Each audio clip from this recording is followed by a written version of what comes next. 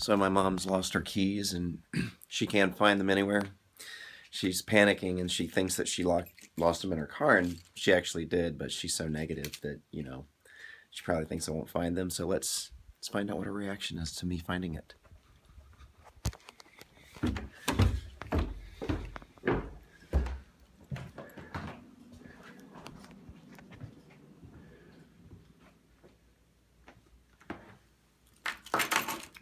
Where were they? Underneath the passenger seat.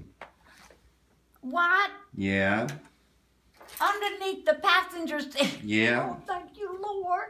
Thank you, Lord. Thank you, Lord.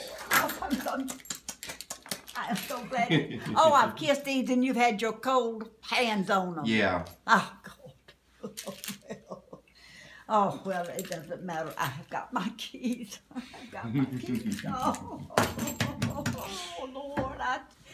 I just knew they were gone. Oh, yeah. That you destroy that film right now. Okay.